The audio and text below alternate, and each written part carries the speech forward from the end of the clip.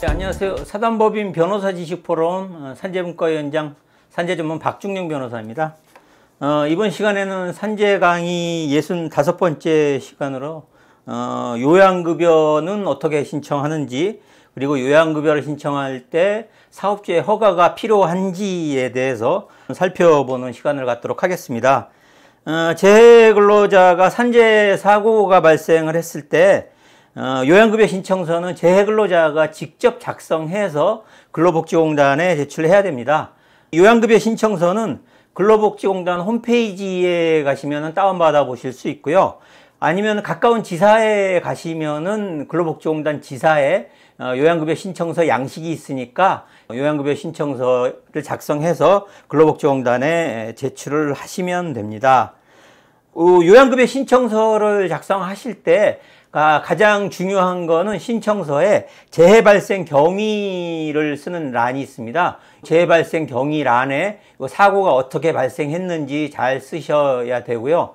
특히 산재 사고로 인한 경우는 별 문제가 없는데 이 과로나 스트레스로 인한 이 심혈관 질환이나 이런 경우에는 재해 발생 경위를 어떻게 쓰느냐에 따라서 어, 산재가 불승인되는 경우도 있으니까 이 부분 잘 유념하셔 갖고 산재 요양급여 신청서 잘 작성해서 제출하시면 됩니다.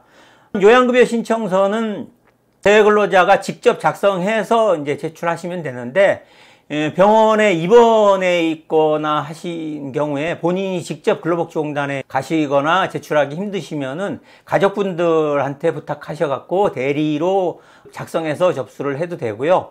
아니면 병원 원무과에 말씀을 하시면은 병원 원무과에서 요양급여 신청서 작성 대행 및 제출 업무까지 하고 있습니다. 잘 알아보시고 예, 병원 업무과 직원하고 잘 상의해서 요양급여 신청서 작성해서 제출하시면 되겠습니다.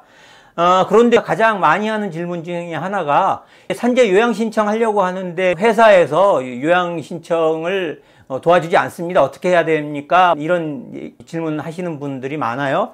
옛날에는 산재 요양급여 신청서를 작성할 때 그 요양급여 신청서란에 사업주의 날인을 받는 칸이 있었습니다. 사업주가 날인을 거부하는 경우에는 사업주 날인 거부 사유서라는 것을 작성해서 어, 제출해야 요양급여 신청서를 받아줬는데 2018년도부터는 어, 요양급여 신청서 양식에서 사업주의 날인을 받는 칸이 없어졌습니다.